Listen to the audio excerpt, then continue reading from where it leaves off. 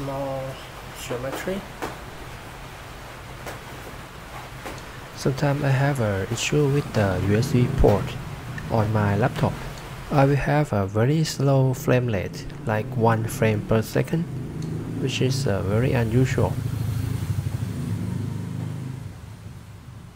And sometimes it jumps back to 30 and then it go back to a few frames per second.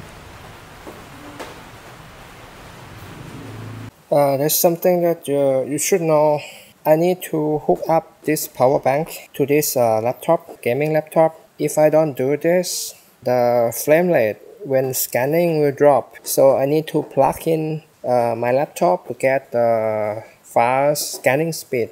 Uh, here's some update. Uh, if I uh, if I plug the scanner into the USB port with the USB A plug here, I will have a frame drop. It will scan uh, very slow. It could be that without the power supply, it cannot supply enough power to the scanner through the USB-A port. So if I put adapter, put the USB-A to USB-C adapter and plug into the USB 4 port, it will have no issue with the connection and the scanning speed is uh, fast 30 frames per second without AC adapter feeding the power to the laptop.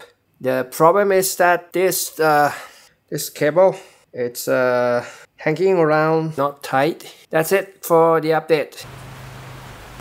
Here is the scanning speed when I connect the laptop to the AC adapter or when I use USB-A to USB-C adapter uh, I can get this same speed without connecting my laptop to the AC adapter.